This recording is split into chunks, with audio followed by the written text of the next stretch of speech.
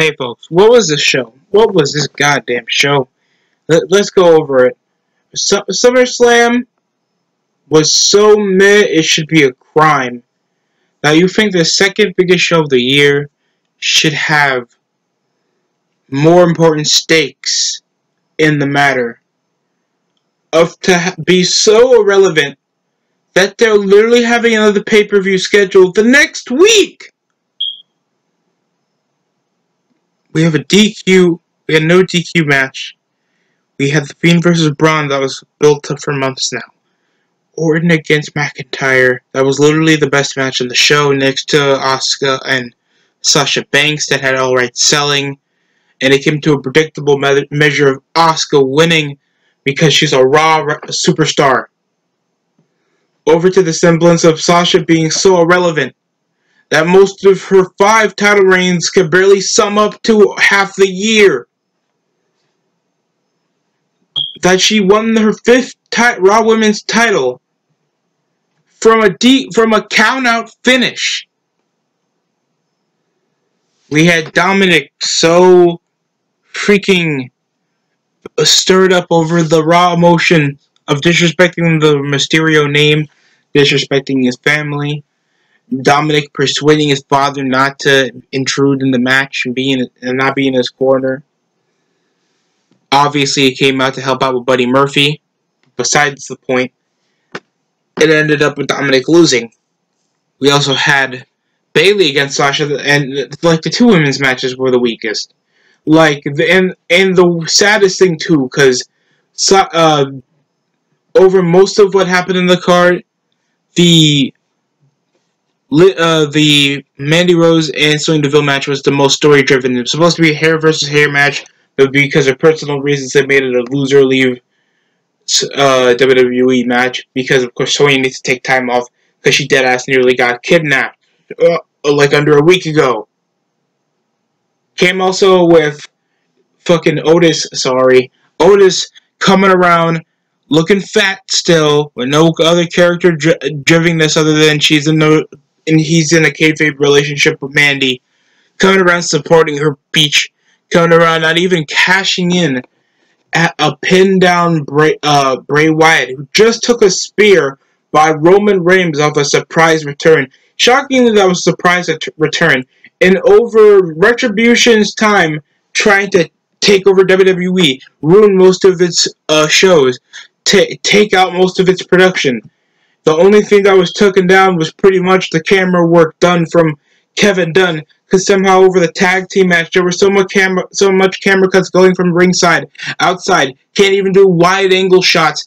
It felt so amateuristic, like you're going all over the place, even though there's like four people you're concentrating in the ring. And only Zelina Vega that should only cut by like a limited amount of time. There's and and it feels so stressful, bro. I mean, the only thing I missed out was the kickoff match that was Apollo and MVP that I was not enticed to see. I'm not. I didn't watch it. I'm not wasting my time with kickoff. Don't ask. It's a waste of time. We had, of course,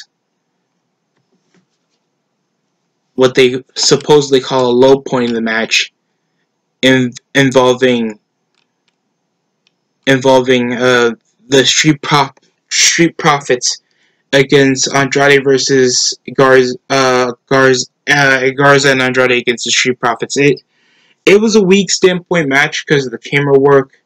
The selling was just a bit off. No, none of like the poisonings and stuff was even filtered into the match. There were suplexes, drop kicks. Their their gear looked terrible, especially for SummerSlam reasons. Hurricanranas. It came with a drop kick that it looked like Garza suddenly missed on, but they sold it off as a leg drop.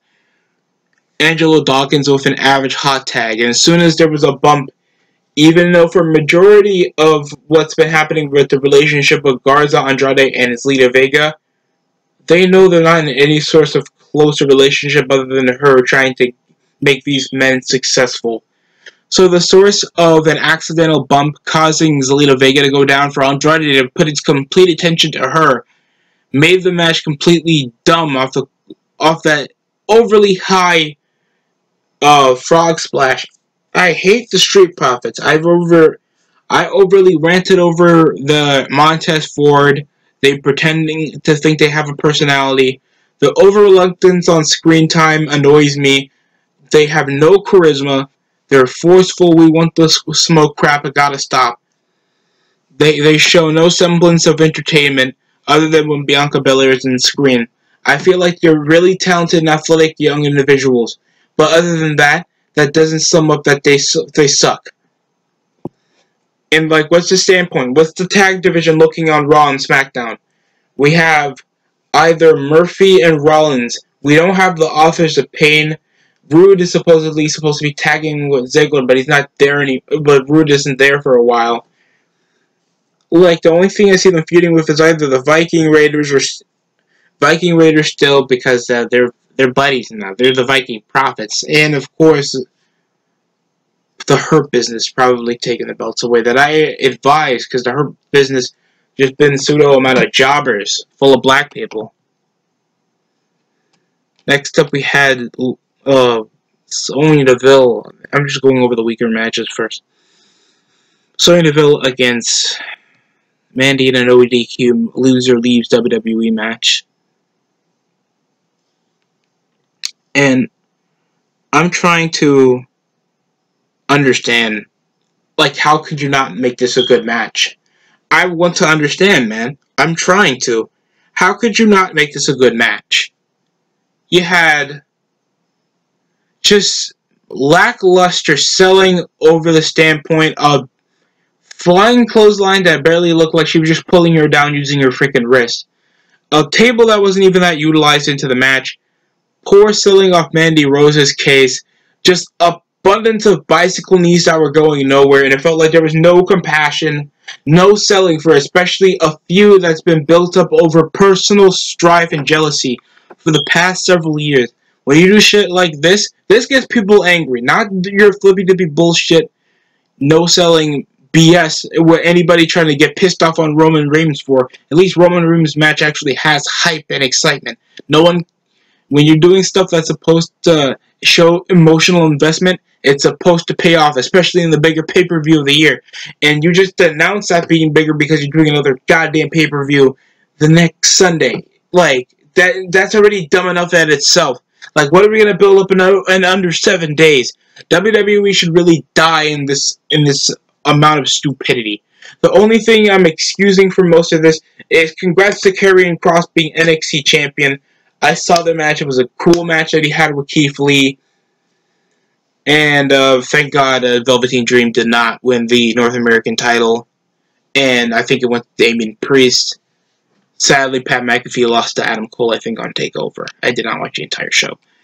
Next up, we had Dominic against Seth Rollins kendo sticks galore. This was just brutality in its most, not the finest, but it was well-deserved ass kicking. I think it was better off that they gave Rollins a win. How shocking it was in the first point. The the match itself was fine. In, in the semblance of, you know, this is the first ever professional wrestling match that Dominic's going to have against a high uh, seasoned veteran like Seth, and I think he did an average job. Very little blotching.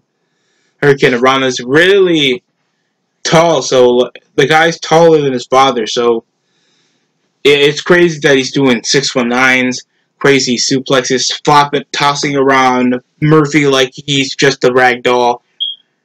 Uh, crazy enough until the handcuffs came into play and Mysterio's emotions came for the better of him.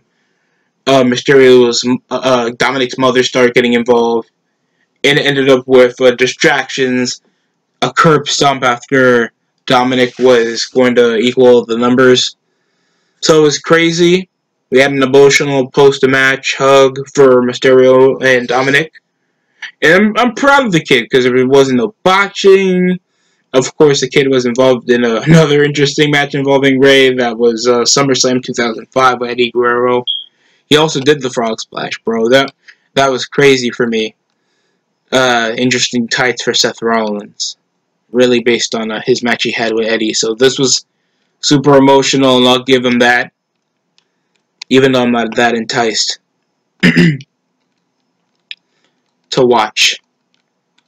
We also have, of course, Sasha Banks versus Asuka. This was a really good match. I think the best was a sunset flip to powerbomb outside the apron and a lot of selling off the knee and some cool transitions that it came into a pop, to a slam into an arm bar, to a knee bar into some good ankle locks. It took uh, Bayley nearly getting out the ring into what could have been the bank statement into a sleeper uh, Asuka lock for the win. Average match. Sasha looked fine, other than she's still going to be treated as a legitimate cowardly joke that legitimately needs to do something. Like, I want these women to succeed. I want them, if they want to be like a cornerstone part of the show, they need to be treated more legitimately other than this PG schlop. It's not working out. It's BS. I'm the only person that's treated more legitimately is Ronda Rousey, and she's not even in the roster anymore. Uh, Shayna Baszler, sometimes Asuka, just her promos are just are minute laughable, even though she's the most entertaining part of Raw. Uh, Liv Morgan, even though she should be given more screen time. Like Sasha needs her own damn faction. She most of her feuds just cater around whatever happens against the lower tier talents on the women's division, or just revolving around the four horsewomen. It is not even a faction. It's just a few fr shoot friends that were part of NXT, and that doesn't work anymore. Even though you you now have half a decade in the main roster, that means something. And if you're not building a, any other legitimacy other than your lackluster Raw Women's title reigns, I think it's better off that you just unify the titles or something. Because this isn't it. You already have. You could expand upon your women's your women's tag division. You can expand upon your women's singles division. So you have some women that need to get ready and be working together so they can pull off uh, their own development and women that are ready and they can just fight off of the woman women's title. It just doesn't work. And there isn't that many women to work with. Because there's women that should be in the tag division like Naomi, Dana Brooke, Carmella, Lana, Natalya, and women that should be still fighting for the title like uh, Lacey Evans, Mickie James, uh, Sasha, Bayley, Charlotte, and Asuka. Like, it shouldn't be this hard. Oh, and Tamina and Nia should be in the tech division. I, I just feel like there should be a lot. There should be, like, Sasha is enough. I don't give her a lot of credit because probably just her looks and her track record since being on the main roster. But I want her to do well. I really want to. I enjoy her matches. I don't think I've really had any matches that I ever spoke negatively about. So I really want her to do well. The her ba the Bayley match with her with Asuka was weak. It was like minute, just doing the same thing Sasha does, and this was a match opener. Mm-hmm. Mediocre drop kicks. It ends off Sasha helping, but Bayley didn't help at all, except giving some sort of moral support. So I guess this is coming up to a breakup, just building up and under a week. And nobody cares about this anyway, because this has already been dragging down ratings. But that's just my opinion. Next up, we had my favorite match of the night, Drew McIntyre against Randy Orton. Two good wrestlers, and Drew hasn't shown a bad match. And uh, I just feel like the match just had a lackluster finish, in my opinion. Uh, just off a quick roll up, even though he has a finisher that can just finish him off in just a split second. And they've been trying to feed over because of the effects of the RKO. Taking another one might do over McIntyre, and they've been selling over the point McIntyre been trying to evade. Anytime that McIntyre would, uh, Orton would think he would get his guard down, McIntyre just shoved him off. Decent separation. Alabama slam, a belly to be uh, belly to belly suplex from the top a cool a cool what looks to be he was going for the the claymore he went for a snap power slam a cool drop kick just awesome moves great selling from cool guys fighting for the world title uh, I thought it was a bit cheap though. It ended up off of a quick roll-up finish. Just looked like he escaped Orton at this time, even though he can just clearly beat him. I think Orton busted his nose in the match. I thought there should there should have been a lot more bleeding, especially how much they were building this up. As Matt as Orton being the biggest douchebag on Raw, him kicking his legend father figure. I mean, not father figure exactly, but mentor out of Ric Flair. Punt kicking two legends, one also with a neck injury, just being mighty disrespectful. And you know, it's not the first time they even did Orton dirty since SummerSlam last year with Kofi Kingston. I think that ended off a DQ finish, but this one just ends off a roll up. That it had a good match, but a lackluster finish. And I just hope they get a rematch come payback or something. They give Orton the title. Probably Orton gives it to Lashley or something because I want Lashley back in the fray so we can actually have guys that look like they're targeting the world title than just being there. Like seriously, like if like stop with Ziggler, stop thinking Kevin Owens are going to be top guys. We got to be acting smart. We got to get, get people that are kids that want uh, people that are badasses look like they can beat you up and look like they're going to be on TV. Not Kevin Owens. We already see how it was when he was Universal Champion for several months. For freaking Goldberg to take it out of it. For freaking Goldberg. And that's so disappointing. Kevin Owens is a skilled wrestler, but when it comes to actually building up to the main event frame, he can't do that. He has to go to freaking Ring of Honor and NXT to do that. Because that's at least under 10, like 15,000 fans. so don't give me this BS that if you can do it on NXT, you can do it on Raw. No, you can't. Get over it. That's how life works. That's how the business works. But this was a good match. I'll please, if you're watching SummerSlam, do it. And next we, of course, had uh, the Fiend, sorry, my throat is dry. Uh, the Fiend against Braun Strowman for the WWE Universal Championship. Uh, spoiler alert, Roman Reigns came after the match. Otis did not cash in. He was just there to support his peach. That's about it. Looking like he has a mini bottom lip. Crop, his freaking crop top looking like a sports bra now. It, it just, this match was I'm I'm not saying two super heavyweights can't have a good match. It's like it's possible. It just felt so bland. I mean, it was just power slam, power, power slam, no sell, no sell, kicks outside. Like Braun at least bled a tiny bit. There was a lot of bleeding in some of the matches that, that, tonight. So I'll advise that it was a good, these were good showings, but uh, oh god, it just felt like it, they were just doing it to do it uh, slams out the table.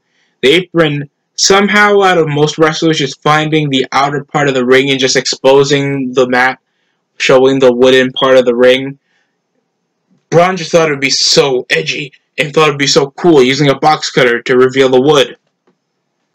Even though you could just power slam him on the outside because it was technically falls count anywhere.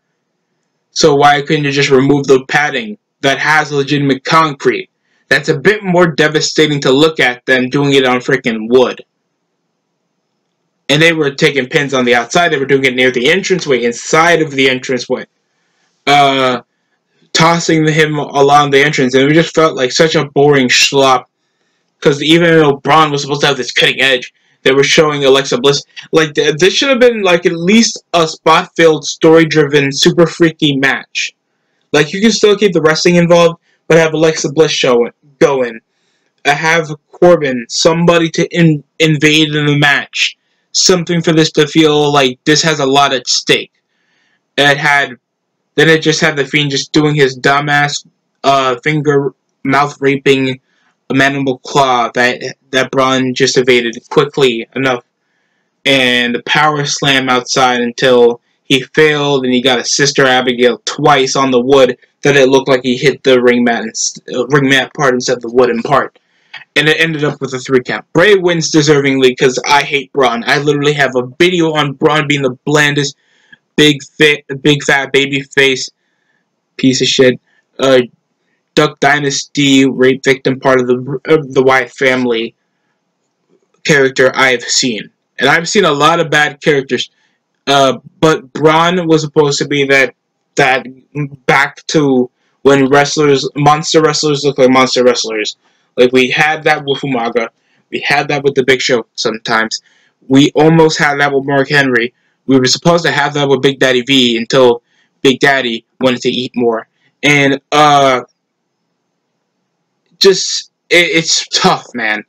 This match was so mediocre. It's tough to call.